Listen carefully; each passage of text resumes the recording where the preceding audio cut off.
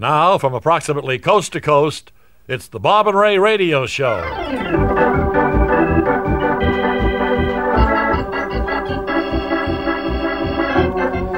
Well, hi, everybody, and thank you, Paul. That was a great start for today's show, and I think we've got an exciting one looking down the, the program here. The agenda looks like a program that I wouldn't want to miss, so I'm going to stay for the whole half hour. Okay. Uh, first of all, we take great pride in again bringing you our slightly acclaimed Bob and Ray Public Service feature, Speaking Out.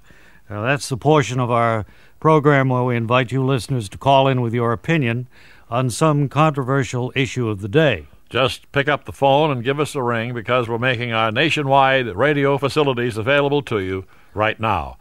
You know, I'm sure that gesture puts us a head and shoulder above Albert Schweitzer and those other so called humanitarians who thought they were hot stuff. Well, Excuse me, Ray. I never heard anything about Albert Schweitzer to indicate he thought he was hot stuff. Well, of course, he did his thinking in German, so he probably used a different term. But uh, that's beside the point.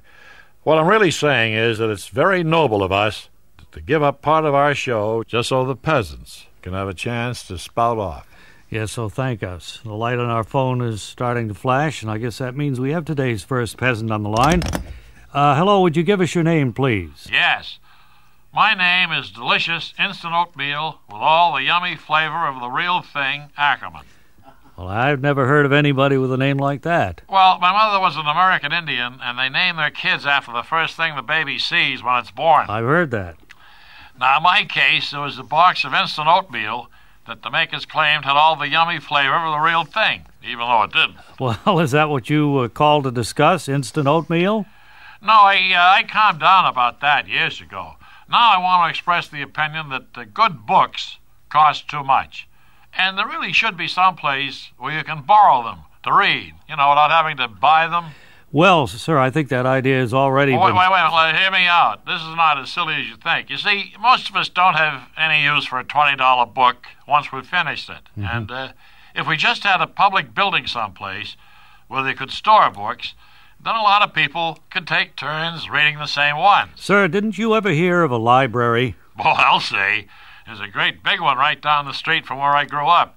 My folks always warned that if I was bad, they'd take me down there and let the librarians throw me in one of the dungeons. Oh, I see. So you've never actually been in a library then? No, knock on wood.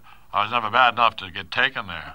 But uh, why are you bringing that up now? Well, I don't know. It seemed pertinent, but maybe not. So let's move along to another caller here. Uh, let's try this line. Your name, please? Hello, I'm Mrs. Abraham Lincoln of Springfield, Illinois, and I think people around here should make an effort not to get so mixed up just because my husband has the same name as the President of the United States. The former president, you mean?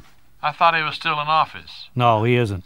Well, maybe that'll make it easier. At least my husband can stop calling himself Dishonest Abe just so people will know he's not the other one. Well, it's often hard to shed a nickname, but he can try while we move along to a final caller here. Your name, please. Hello, I'm Odie Loxfelder, and I live upstairs over that place where nobody lives downstairs anymore. All right. Uh, what's the opinion you'd like to express over the air, sir? Well, I have 26 ideas jotted down here. Well, the first. Excuse me, sir. We, we don't have time for you to give us 26 opinions. Why don't you just pick one of them? Well, I can't do that. They're all connected. For instance, I think the members of the British royal family ought to go out on the road as a traveling softball team. But they can't uh, very well do that unless the monarchy is abolished, which is another one of my suggestions. Uh huh. You say all 26 of your ideas are dependent uh, on each other like that? Well, pretty much so, except for number 22. Of course, that's the one about stuffing pillows with penguin feathers to boost the economy of the Antarctica. I guess that could be done even if the British royal family doesn't play softball. Yeah, I agree. Hardly anything in the Antarctic has much bearing on the British royal family, but thanks for giving us your thoughtful views, and I think we've accomplished something here, don't you, Ray? Hope our listeners will be inspired to do the same on our next edition of Speaking Out.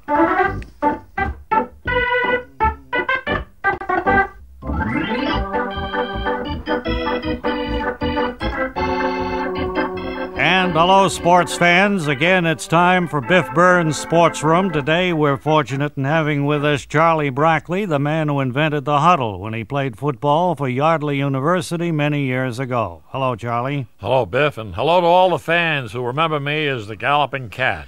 Uh, Charlie, or a Galloping Cat, whichever you prefer. Well, Charlie's all right, Biff, although to this day, people still walk up to me on the street and say, Hello, Galloping Cat. Uh huh.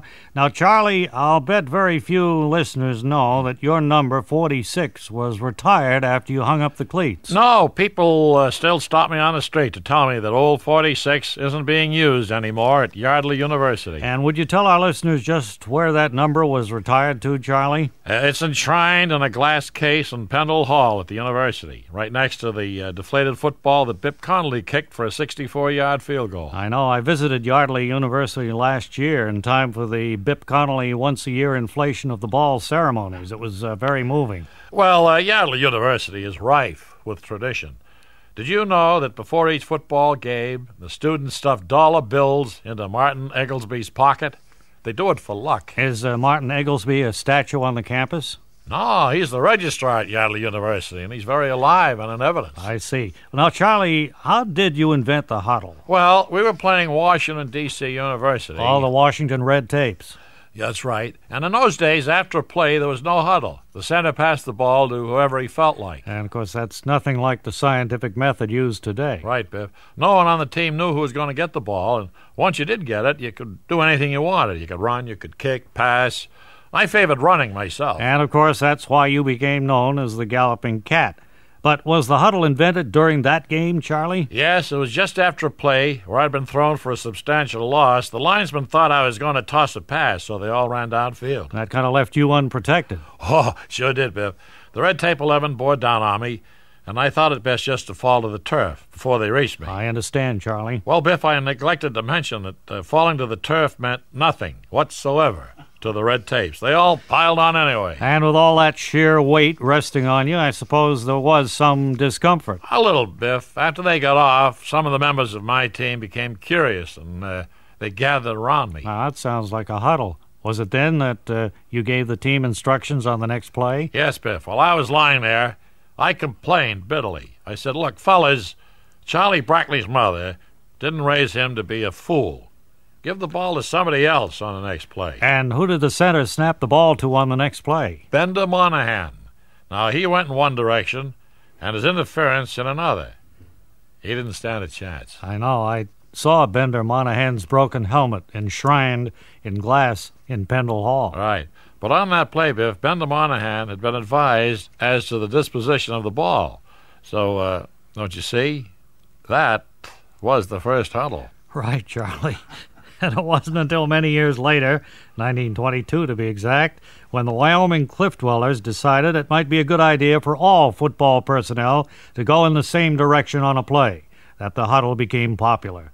The circle quickly followed. Thank you, Charlie Brackley, for being with us today. Without you, things would never have been talked over properly in a football game. You're a gridiron great. And this is Biff Burns saying until next time, this is Biff Burns saying so long.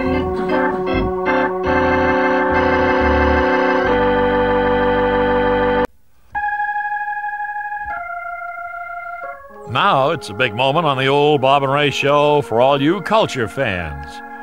We're launching our newest highbrow feature today. It's called Prose and Poetry on Parade.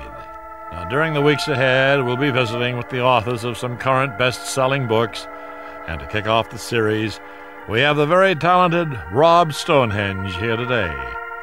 Rob, I'm sure you have the year's big hit here in your newest expose, All the President's Laundry. Well, thank you for those kind words, Ray. A lot of months of digging through the evidence went into this, and it's gratifying that so many readers uh, seem as interested in the subject as I was. Well, it's certainly a subject that uh, needed to be investigated. When did you first become interested in how our past presidents uh, did their laundry? Uh, it's a funny thing about that. I'd known ever since I was a school kid that John Adams was our first president to live in Washington, and I'd read the old story that his wife Abigail hung the family laundry on a clothesline beside the White House. But I never thought anything more about it at the time. Well, uh, many of us uh, who've heard that old story never think anything more of it at the time or even later. Come to think of it. Something caused you to probe deeper, Rob. What was it? Well, Ray, as you know, I'm a reporter covering the White House for the Omaha Press, Beacon Dispatch, and Morning Ledger.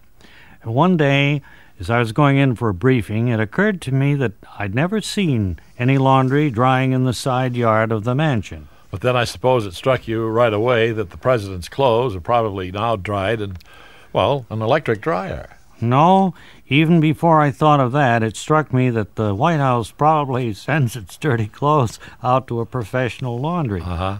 However, I staked out the building for several weeks, and no laundry trucks ever went in or out.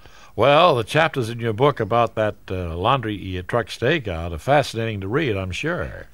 Does that mean you haven't read them yourself? No, but uh, I'm planning to quite soon. So, uh, what did you do once you learned that the first family doesn't send its clothing to the laundry? I began chatting with the old time correspondents at the White House. For instance, I talked at some length with Bingham Hutchison. Huh? He's covered every president since Herbert Hoover for the weekly editorial companion. I didn't know that magazine was still being published. It isn't, it went broke years ago, but Bingham Hutchison still hangs around the White House press room. He's the dean of correspondence there, and I figured if anybody knew how the president gets his laundry done, Bingham would be the man. And uh, was he any help? Well, he provided a lot of good background material, and I was able to use in the book. He reminded me that Hoover wore celluloid collars, which never would have required laundering at all. Well, uh, that was another small piece that fit into the overall puzzle, huh? Yes, but it was only a partial explanation, and the mystery deepened when Bingham Hutchison and I started discussing President James Buchanan. Uh-huh. of course, we hadn't been around in those days, but we knew that Buchanan was our long bachelor president. So that made it even more puzzling as to how he got his laundry done. Couldn't he have had a woman come in one day a week or something like that? well, that had to be regarded as a possibility, so Bingham went over to the National Archives and hunted for any mention of a laundress who came to the White House regularly between 1856 and 1860. And I suppose uh, Bingham Hutchison had plenty of time to help you with that since the magazine he works for isn't published anymore. That's right. However, he couldn't find anything at all about a person coming in to do the White House laundry during Buchanan's administration. Uh-huh. Later, Bingham and I went through a lot more documents for every administration from Madison through Eisenhower, and we never found a cleaning ticket, a laundry tag, nothing. Well, that's amazing. When one considers the many different types of clothing made out of different fabrics that were worn during that very long period. Yes, I have a chapter in the book on that entitled Laundering Instructions Through the Years. I see. So tell me, what finally led you to the real inside story of how our presidents have gotten their laundry done? Well, I'm afraid your listeners will have to read the book to find that out. I don't want to give away the ending. Fair enough. So, uh, thanks for joining us today. We've been chatting with Rob Stonehenge, author of the sensational expose, All the President's Laundry. And we invite those of you at home to join us for another illuminating discussion on our next edition of Prose and Poetry on Parade.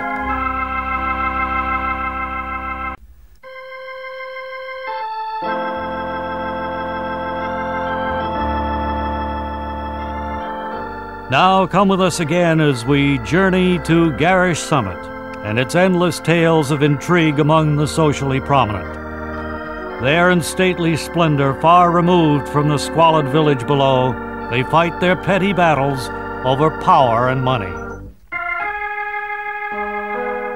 As our action resumes, wealthy Dowager Agatha Murchfield is in the downstairs conversation pit when her attorney and longtime friend, Bowden Pardue, enters. She rises to greet him and speaks. Don't come a step closer, or I'll blow your head off. This Roscoe's loaded, and I know how to use it. Agatha, for goodness sake, put that gun away. Oh, I'm sorry, Bowden. I didn't recognize you in that Argyle sweater with the plaid knickers. I naturally assumed that anyone dressed that way would be a member of the criminal element. No, it's just that your urgent message reached me at our cottage down by the lake. I dress strictly for comfort there. Well, I'm glad you didn't take time to change because I have a major legal problem with far reaching financial consequences. It's only a small cottage, and the lake isn't really fashionable anymore, but I feel I can relax there. The police have been searching for my wayward son Caldwell ever since I discovered he was embezzling from the family business. Now I find that he's still writing checks on our joint personal account. Every year, Myrtle suggests that we sell the cottage and buy a place in the mountains, but I, I wouldn't be comfortable there. My word, Bowden, you haven't heard a thing I've said. Of course I have, Agatha. I was merely exchanging pleasantries. Now, was there anything in particular you wanted to see me about? Certainly. Caldwell is hiding somewhere in Bolivia, and he's writing large checks every day on our joint account, so I want you to go down to the bank immediately and stop payment. You want me to go to the Garish Summit Mercantile and Millionaires Bank wearing an Argyle sweater with plaid knickers? I don't care what you wear. Just stop those checks. I can't imagine why we're dawdling around this way. I'm just trying to envision why anyone would need such a large amount of money to live well in Bolivia. Well, there it is, Slick. A 45 room villa with a view of the Andes and I picked it up for only two million bucks. Well, it may be a bargain, Caldwell, but I thought we were just laying low here in Bolivia until the cops get off your trail. Why do we need a mansion for a hangout? Ah, there's been a change in plans, Slick. I'm sending you on alone. I'll be staying here for a rendezvous with my brother's ravishingly beautiful secretary, Pamela. I thought Pamela and your brother Rodney were going to be married. Uh, that's what Rodney thought, too, but uh, I've spoken with Pamela, and once she heard about this 45 room villa, and she decided to come here and marry me instead. I can just imagine what Rodney will say when he finds out he's lost another round to his big brother. I scarcely know what to say, Pamela. Having you change your vacation to next week is quite inconvenient. That's when we have to take an inventory of all the lead ingots in the warehouse. Well, that's tough toenails, Rodney. Caldwell phoned me last night from Bolivia. We were chatting about all the millions he embezzled from the company here, and when he asked me to come down and marry him, I impulsively said yes. Well, that relieves me of one chore I had on my calendar for next week, reserving the church for our own wedding. I'm glad you're taking it so well, Rodney. Actually, I'm not taking it well at all, Pamela. Inside, I'm a seething cauldron of emotions. Well, it's nice to know you care that much. I care a great deal.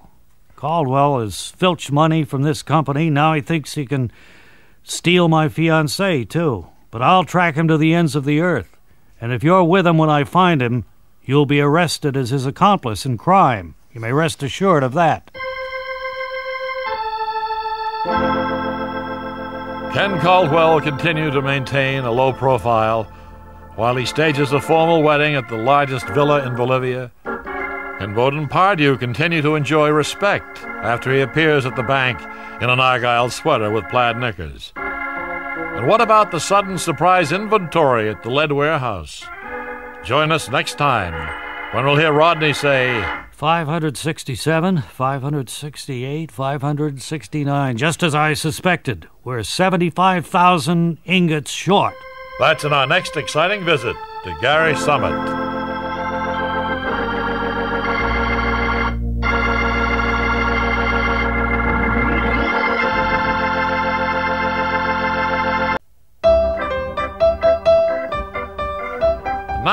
Through the magic of live radio, we again join Farley Gerard in a remote corner of America as he continues his travels down the byways.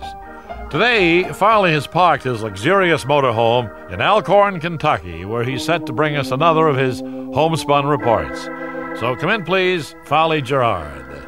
Older Americans can well remember when this country's belief in freedom of the press was symbolized by the small town print shop.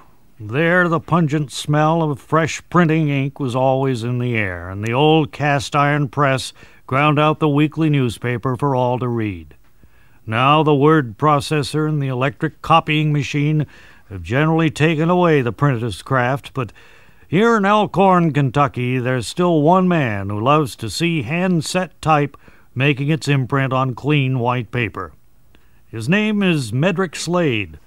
He's proud to call himself an old fashioned journeyman printer. Actually, I'm a master printer, not a journeyman, but uh, I'd be proud to call myself either one. Well, Mr. Slade, standing here in your musty little shop, I feel as though I've taken a step backward through time. A lot of tourists who come here say that. Of course, they don't say it as poetically as you do, but I think they feel it. Well, your shop is truly like a lost scene out of my boyhood, with the big wooden type cases along one wall and what are those cartons on the other side over there? Uh, those are filled with hand etched steel engravings of the kind that were used on fancy official documents years ago. We mean like old land deeds and things like that? Yes. Also, I have some engravings of uh, locomotives and factory buildings that were used to print stock certificates for companies that no longer exist.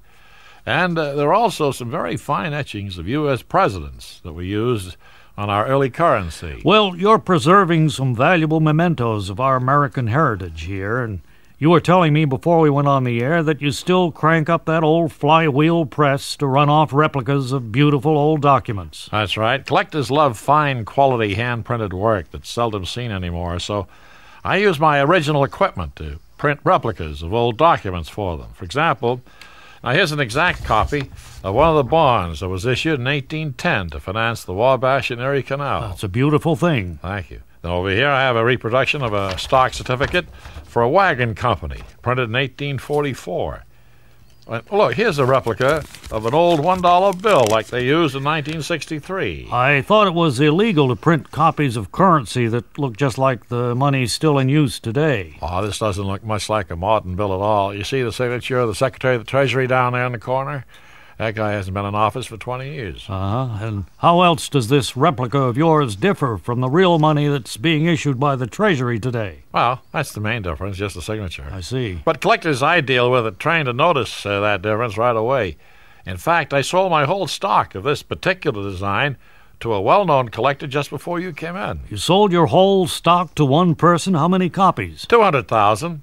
I guess he wanted some extra to take home to his friends and fellow collectors. He was from uh, Las Vegas. Are you saying you sold $200,000 worth of counterfeit money to one customer and you still don't see anything illegal about that?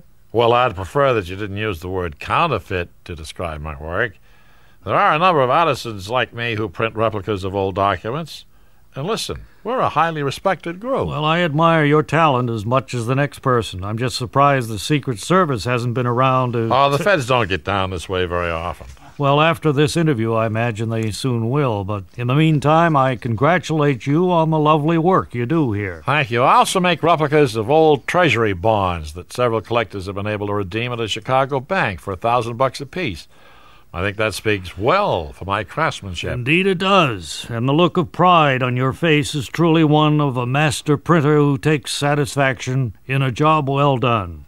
It's a look that isn't often seen today on the faces of workers in our big cities. Here in Elkhorn, Kentucky, the pace is more leisurely, and the quality of the work shows the love that went into it the love of a man named Medrick Slade. We'll remember him as we move along to listen to other stories waiting to be told down the byways. Until our next stop, this is Farley Gerard saying so long for now.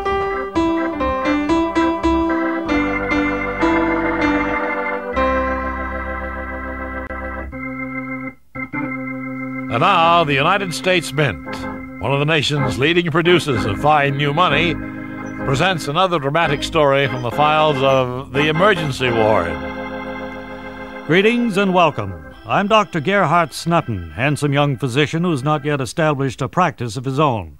Instead, I work in the emergency ward of a big city hospital. The emergency ward is a place where the drama of human suffering is an everyday occurrence. Take the other evening, for example. I was on a short break, checking my latest medical experiment, when my assistant nurse Roodhouse turned to me and said, Why are you just sitting there staring at that colony of ants, Doctor? I believe I'm on the brink of a great medical discovery, Nurse Roodhouse. Notice how these ants can carry burdens that are larger than their own bodies?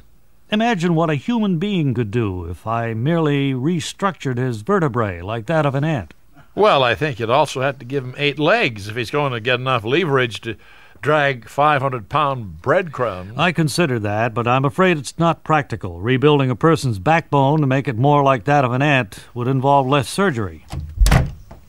Oh, pardon me. Is this the emergency ward of Rick City Hospital? Yes, and I'm Dr. Gerhard Snutton, handsome young physician who's not yet established a practice of his own. Uh, please stop mumbling and state your business. First the best I can talk, Doc? I got a Parker House roll stuck in my cheek. I see. I see the swelling now. That's most unfortunate. Mumps can be a serious illness for a man your age. Doctor, I don't believe he mentioned anything about mumps. I think he said he has a Parker House roll stuck in his cheek. Nurse Roothouse, I've asked you not to interfere when I'm in consultation with a patient. He's right, Doc. It's a Parker House roll. Somebody hit my elbow while I was eating, and I got jammed in my cheek. Well, try not to get too panicky. Some adults with mumps have been known to pull through. Doctor, he's not saying a word about mumps. He's telling you that a lump in his cheek there is a Parker House roll. Nurse Roothouse, I'm a medical school graduate, and I certainly couldn't have won my diploma without being able to understand simple English. He has the classic symptoms of mumps, and he's merely trying to tell me about them. Excuse me, uh, if you're going to fight with her for a while, I'll just take a walk down the hall. Yes, I'm sure the pain is excruciating, but don't worry, old fellow. I'll do my best to save you. Don't slap him on the back, Doctor. That could be dangerous. Oh, for once, I think you were right, Nurse Roothouse. His dentures flew clear across the room when I hit him. Uh, those weren't dentures, Doc. It was the Parker House roll stuck on my cheek. I guess slapping me on the back jarred it loose and made it fly out. Well, that's not surprising. I slap newborn babies on the back for much the same reason, except that they haven't been eating Parker House rolls. Well, I've never studied up on those medical technicalities, but uh, it sure worked in my case. What do I owe you, Doc? Well, for doing the same thing in a maternity case, I get $150, but you took up less of my time, so let's say three bucks. Hey, that's a real bargain. Hey, and thanks. Goodbye. Well, Nurse Roothouse, medical science has again worked its wonders to save a human life when all hope was gone. So you may simply enter the notation in your case book patient released, cured. And so another tragedy is miraculously averted, thanks to the dedicated men and women who toil in a big city hospital. Join us again soon when the United States Mint, producer of fine new money, will bring you still more tense drama from the files of the emergency ward.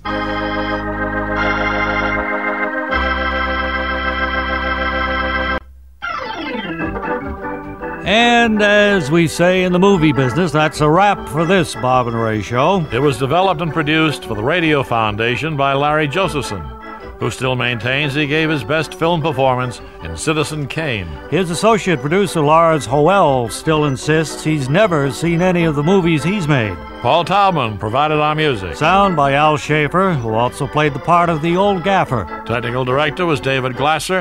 Engineering assistants were Marty Newman, Miles Smith, and Jay Newland.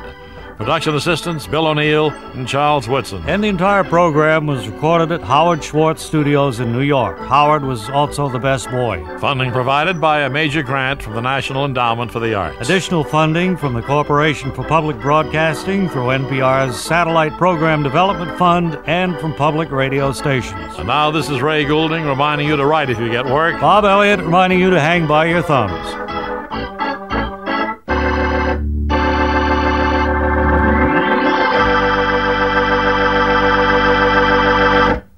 For a free picture of Bob and Ray, send a stamped self-addressed envelope to Bob and Ray Picture, Box 5000 GPO, New York 10116. Again, send a stamped self-addressed envelope to Bob and Ray Picture, Box 5000 GPO, New York 10116. We regret that we cannot send a picture without a stamped self-addressed envelope.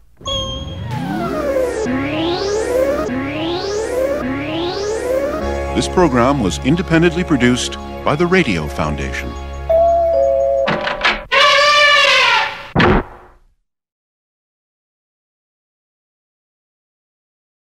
And now, from approximately coast to coast, Bob and Ray take great pleasure in presenting the Bob and Ray Radio Show.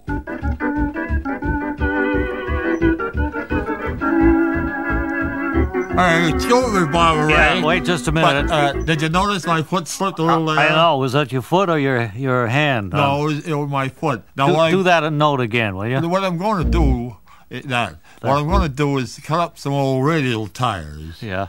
And I'm going to stick them on the pedals here so my foot won't slip. I noticed that, or else Yeah. you could use your stocking feet. Uh huh. Oh no, they they slip. They They'd slip. slip. No, you got to use uh, have heavy traction on the on the pedals of these organs. A lot of people. I'm sorry for that. Did I ruin your a- program? no, no, there's no way you could do that. I know you fellas are so uh, particular. A little thing like that can Well, ruin your show. Well, like a little grain of sand in the machinery. But That's we, right. we did want to introduce uh, Paul Taubman, who's back with us, as we have mentioned before. And of course, uh, our Mary McGoon will be along in the series to come. And Wally Ballou of our staff is uh, on Well, uh, assignment tonight. right now he's just checked in. Uh, checked in. Oh, I guess you make mistakes too, huh? uh, he's just checked in from uh, Lubec, Maine. That's better, right? So, for an on the spot news report, we now go live and direct to Wally Ballou in Lubec. Lee Ballou here on the shores of the Blue Atlantic in Lubec, Maine. I'm on hand for the opening of the nation's newest airline, which began service just this morning, and I have the name of the uh, company here in my notes somewhere. The name of it is the Lubec and South Quoddy Airline, Mr. Ballou. According to my notes, it's called the Lubec and South Quoddy Airline. And the voice you heard while I was obtaining that information belongs to the president of the line, Mr. Wallace Pumphrey. Mr. Pumphrey, I understand this new air service operates chiefly in the resort area right around Lubec. That's right, Mr. Ballou. Specifically, uh, we've licensed, or I should say, we're licensed Uh-huh. for uh, passenger runs between Lubec and South Quoddy Island. Do I talk right into this microphone? Not right here. I'll, I'll hold it toward Uh, you when you're supposed to talk. All right. Now that's uh, see why our board of directors decided to name it the Lubec and South Quoddy Airline. Well, it seems like a wise corporate decision. Just where is the South Quoddy Island from here, sir? Well, uh, you can see it right across the open stretch of water there. Our flights land between the blue cottage down on the far end Uh-huh. and the white one off to your right there. Right. Well, that's just a sandbar, barely a hundred yards offshore there. Well, actually, it's not quite that far. The distance uh, from our main terminal here in Lubec over to the landing strip on South Quoddy Island is uh, just under 225 feet. You mean you operate an airline that covers a distance of only 225 feet? Yeah, but it's all open water between here and the island. I mean, a person can't walk there, and Oh, no. boat service is slow. Uh huh. So you're hoping that commuters will take one of your planes even that short distance, right? Yes, basically, yes. But uh, you've made one incorrect assumption. You see, we don't use planes. We send people back and forth on hang gliders. Well, I noticed several older people trying to keep a grip on hang gliders as they sailed off the point down there, but I didn't know they were passengers on the Lubec and South Quoddy. Yes, you see, our ground crew pushes each ticket holder off that bluff. And if the traveler has any hang gliding skill at all, he comes down on the landing strip at South Quoddy. I see. Apparently, uh, most of your passengers don't have any hang gliding experience. That elderly woman just dropped like a rock. Yeah, she did.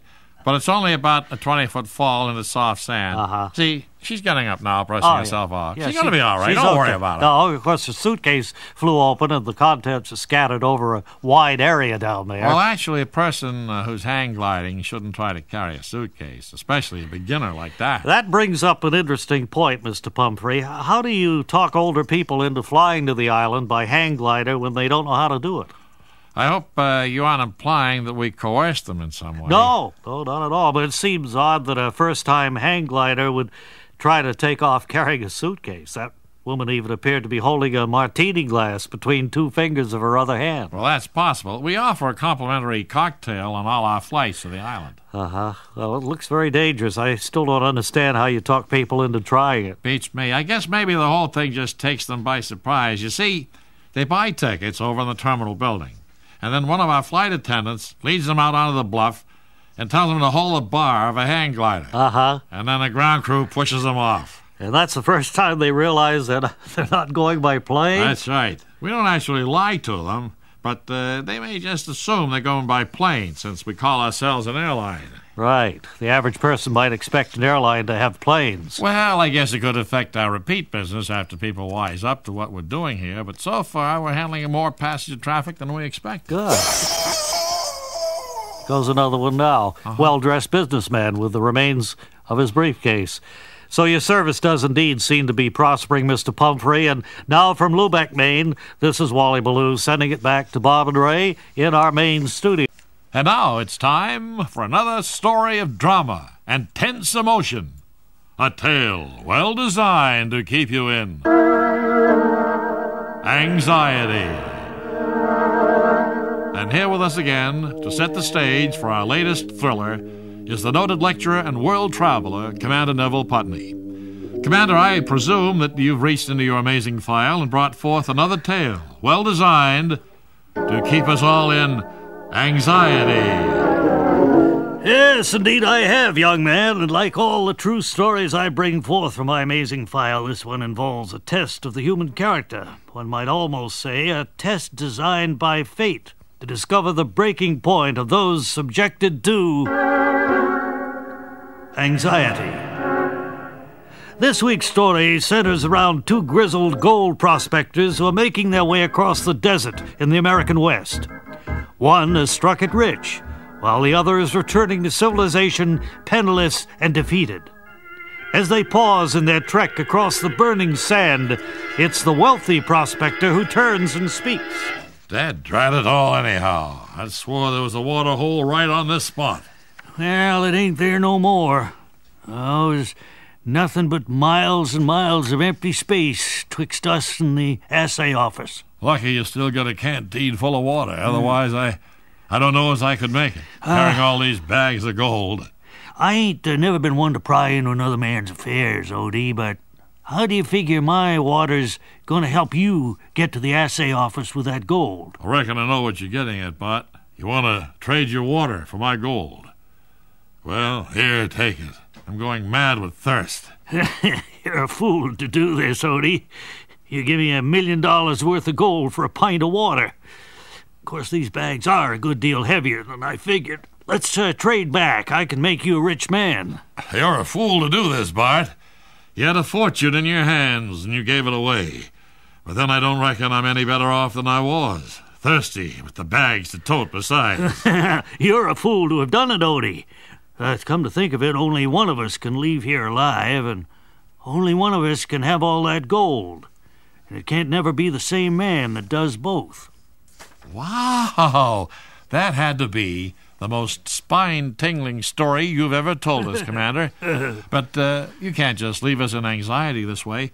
How did Bart and Odie ever make a decision on which one should live and which one should be rich? Well, as it happened, they never had to make that terrible choice. They didn't know it at the time, but they were trudging through Zion National Park. So, of course, they soon found one of the drinking fountains that had been placed all about for the use of tourists. Drinking fountains? That's ridiculous. There weren't any drinking fountains in the desert in the Old West. I never mentioned when this amazing story took place, young man. Now that you've brought it up, the event transpired in either July or August of 1972. Hey, Commander, you just picked that unbelievable ending out of the air so you could get away with telling us another one of your dumb, pointless stories. Insolent young bounder, every one of these true accounts has been brought forth from my amazing files. The only amazing thing about your file is that every story in it lays an egg. That's quite enough of your cheeky backtalk. Now read the closing announcement and be quick about it. Well, after that, Dud, I sure feel like a complete fool doing this. But I guess I have to. Uh, friends, be sure to join us next time when Commander Putney will again reach into his amazing file and bring forth a tale well designed to keep you in anxiety.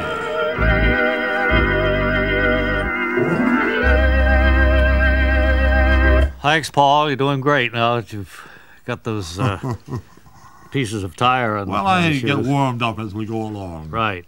Now, what would you like to hear next? We've got a good many things here.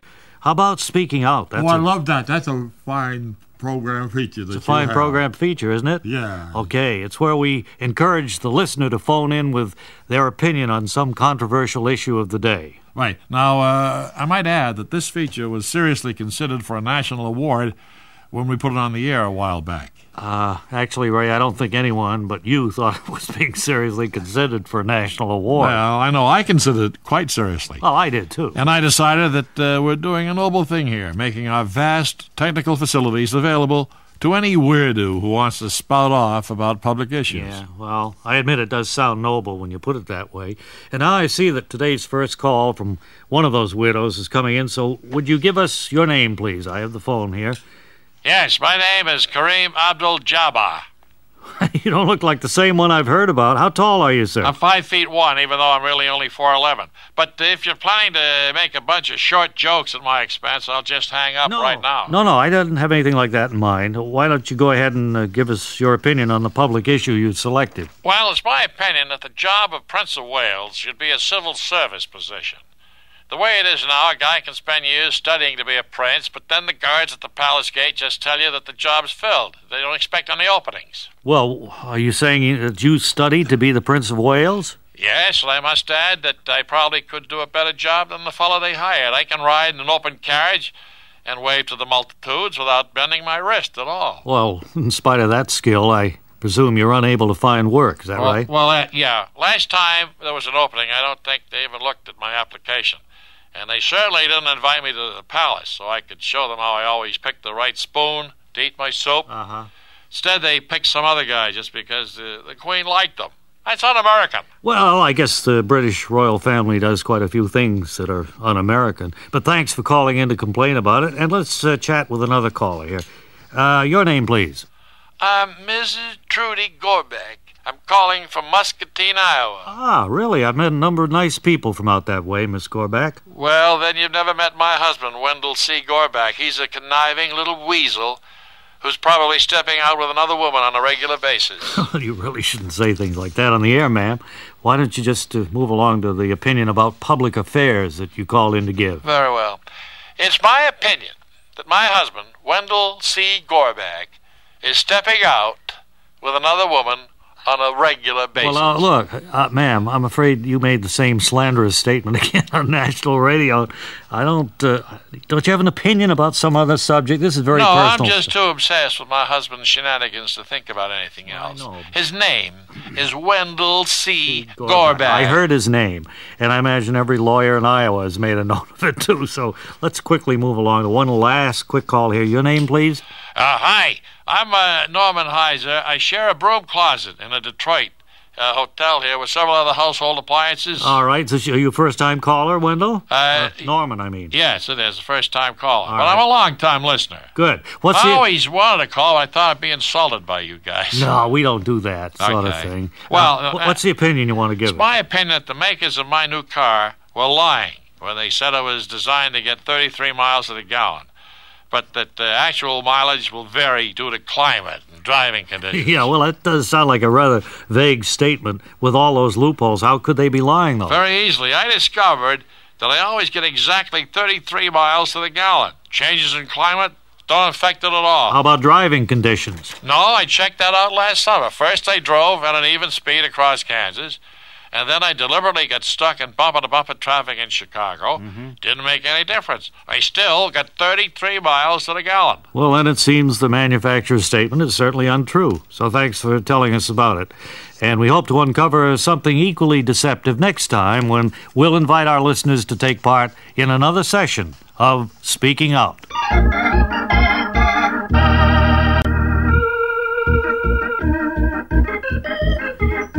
Hi, this is Turnley Gebhardt, your Faces in the News reporter, and we have a gentleman with us uh, today who had his face in the newspaper yesterday. Uh, sir, could we have your name and occupation, please? Yes, my name is Martin Levon.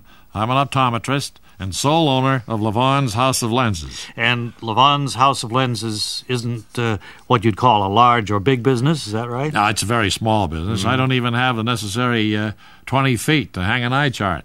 Oh, Do you have an eye chart? Uh, yeah, the people who read my eye chart have to stand out in the street and read it through the door, which I keep open. Well, do you find this to be a satisfactory method? Well, it isn't bad. Sometimes a policeman comes along and arrests the person for standing on the sidewalk, mumbling with a hand clapped over one eye, but uh, that's the exception rather than the rule.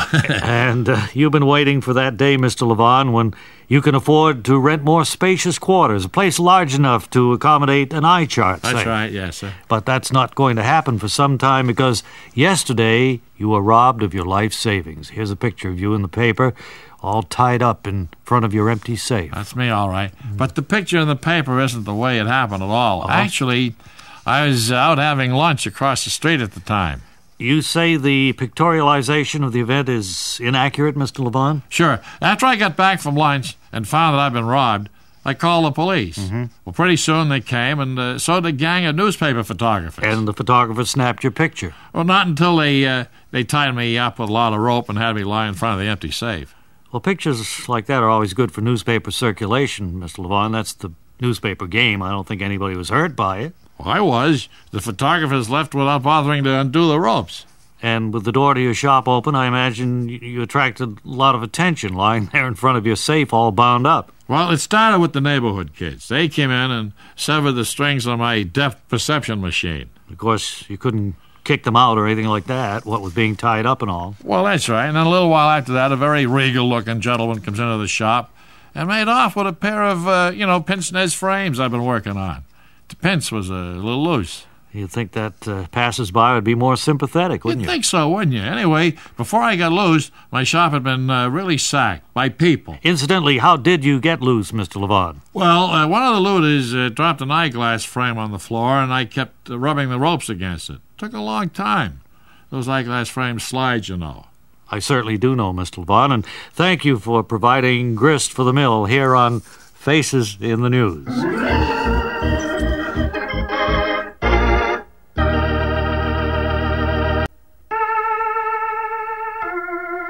Now let's return again to Garish Summit and its endless story of intrigue among the socially prominent. There, in stately splendor, far removed from the squalid village below, they fight their petty battles over power and money. As our action begins, wealthy Dowager Agatha Murchfield is nervously flipping through the pages of a rare first edition in the solarium. She appears relieved when family attorney Bowden Pardue enters. Oh, do come in, Bowden. I'm relieved that you're here. I hope my urgent call didn't take you away from something more important. No, not at this hour, Agatha. I was merely sleeping. It's two o'clock in the morning, you know. Do tell, I had no idea. My watch is down at the jeweler, and I always have 'em reset it for daylight time.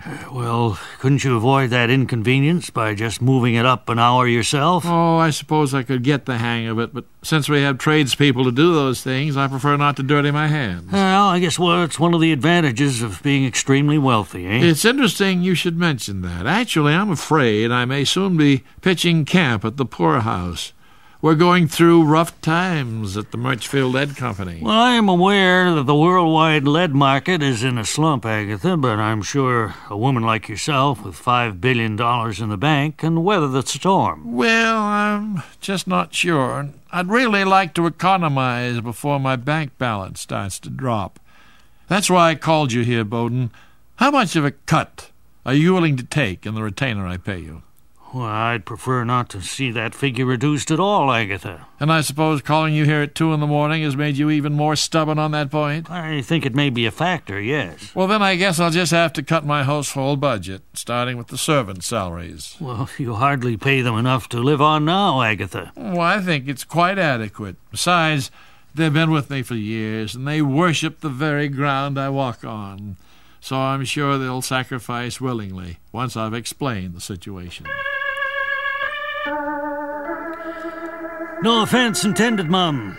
But now that you've explained the situation, how can I only say that I'll be packing to leave as soon as the sun comes up? Well, I hesitated to wake you in the middle of the night to tell you the bad news, Wilfred, but I had no idea that depriving you of a little sleep would make you this grouchy. No offense intended, Mum, but it's not the sleep so much as your plan to reduce my wage.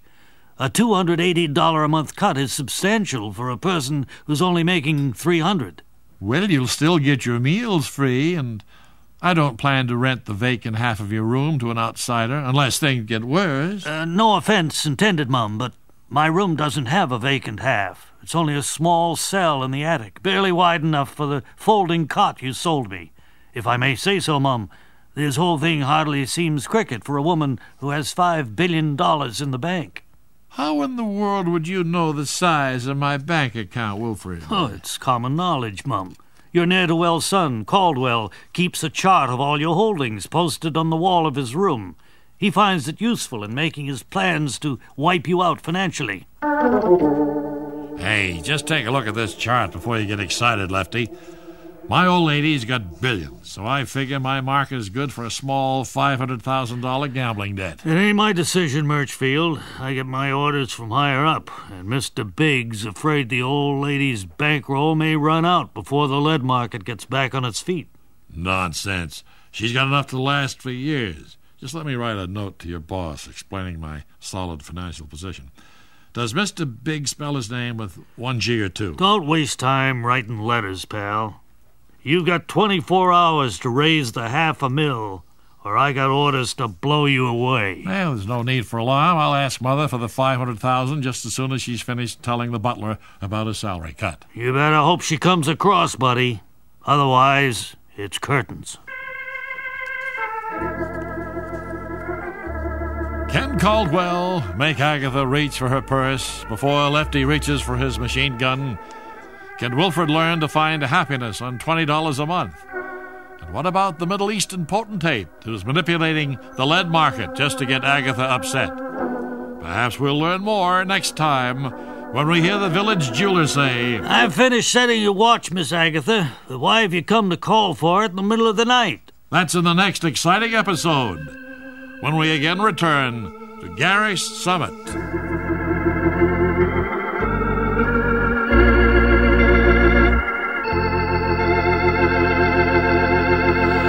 Well, now the big moment is at hand for all you listeners who hope to win a fortune in prizes by identifying our Bob and Ray mystery tune. We're going to uh, play a segment of a well known popular song, and the first person to call in with its correct title will uh, qualify for our giant jackpot. And quite a jackpot it is, too.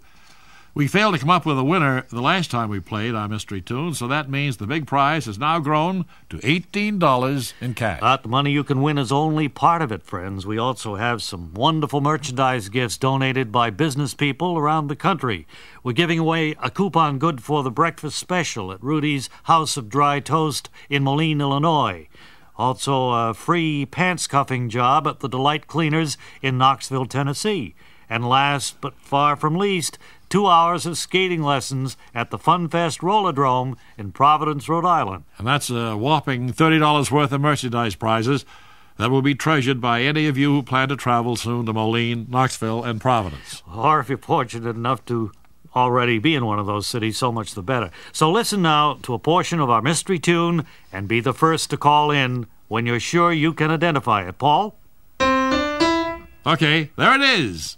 And our phone is still silent. So that means our giant jackpot will rise Wait, next week. wait, wait, wait wait a minute, Ray. I think we should give our listeners a little bit longer than that to get through to us with their calls. That I don't see why. I could have named it right off the bat. So if people out there can't collect their wits and call in, it's not our fault. Oh, well, apparently somebody's wits have been collected because we have a call, so let's see if it's a winner. Hello? Hello? I, I'm sorry I took so long to call your special mystery tune number, but you didn't mention what it was over the air, so I accidentally called several other people first. Well, there's no need to apologize, sir. Just give us your answer. What? I said give us your answer. I'm sorry, I can't hear you. I'm calling from the boiler factory where I work.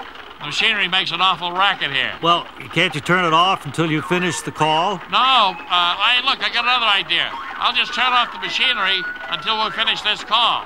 That's a good idea. There. Uh, can you hear me better now? Well, I could hear you before, sir. You couldn't hear me. That was the only problem. What? I said I could hear you all right, but Hey, you. you listen, you have to speak up. They make us wear earplugs on the job so the noise won't damage our hearing. And the earplugs sure make it tough to carry on a phone conversation. Well, why don't you take them out so we can talk? What? Sir, I hate to say this, but we're on the air, and your problem is wasting too much time, so thanks wait a anyway. wait a minute, wait a minute. I had to put down the phone to take out my earplug, so I didn't hear what you said last. What was that again? Well, it may not have been important. Can you hear me now? Certainly. What can I do for you? Well, can you give us the title of our Bob and Ray mystery tune? That's what you called about, isn't it? Uh, yes, I thought you'd never ask. Okay. The title of that tune is The Star Spangled Banner. No, I'm sorry, sir. In fact, I don't know why you made a guess like that. It didn't sound anything like the Star Spangled Banner. Well, I don't know what it sounded like. It's impossible to hear radio in a boiler factory, but I saw some guys uh, through the glass partition standing at attention. So I figured you were playing the Star Spangled Banner. No, they were probably standing up for some other reason. Yeah, maybe it was the start of a fire drill. Could I be. see they've all run out of the building now, but Yes. uh, I, I didn't hear the alarm. Well, I'm sure you didn't, but thanks for calling. And due to your failure, our giant jackpot will grow to $21 next week when we again search for a winner in our Bob and Ray Mystery Tune Contest.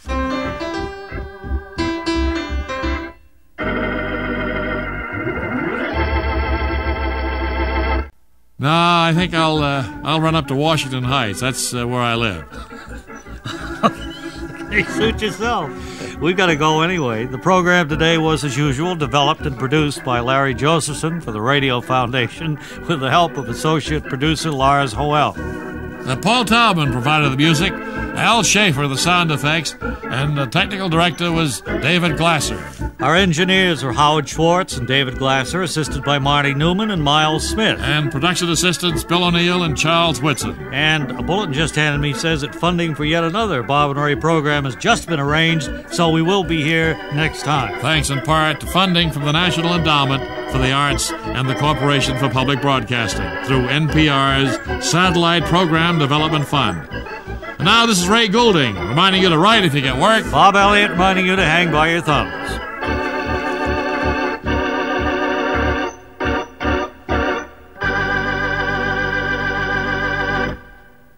Additional funding from public radio stations.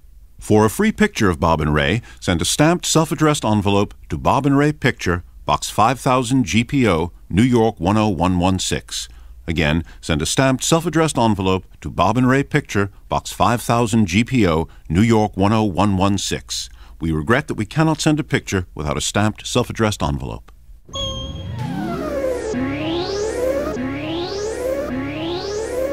This program was independently produced by the Radio Foundation.